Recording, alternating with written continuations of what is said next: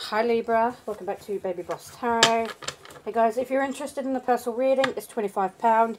You can email me at babybosstarot at gmail.com, all lowercase. Thank you always uh, for your like, shares and subscribes. Please keep it going. Uh, Libra, let's get into your messages. What does Libra need to know, please? What does Libra need to know? Okay, your channel song is Sia Chandelier.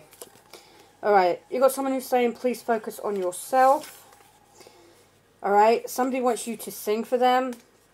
Apparently you've got a really nice voice. Oh, oh, I'm hearing a very beautiful voice that sings opera. I'm, I'm hearing a, Li a Libra female singing opera. It's kind of like a Charlotte Church uh, vibe. You know, she can sing normally, but uh, she started out uh, singing opera, so I'm kind of hearing that. Maybe your name is Charlotte. Alright, uh, you were the only person I can trust and the only person I will ever marry. The others just couldn't make me feel the way you do. I love you, not them. Okay, your finances going to improve, Libra. Someone is testing you, but the distance is killing them. That's why they're testing you. They're trying to see if you would uh, be tempted towards somebody else.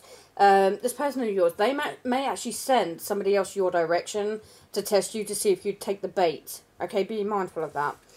I don't want to hurt either of you, so I lie to you both. That's why they're testing you, because they've already got someone.